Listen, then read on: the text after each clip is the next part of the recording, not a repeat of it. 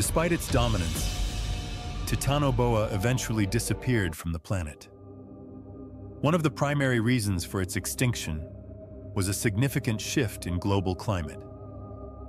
As the Earth gradually cooled after the Paleocene, the once tropical regions where Titanoboa lived became less suitable for such a massive, cold-blooded reptile.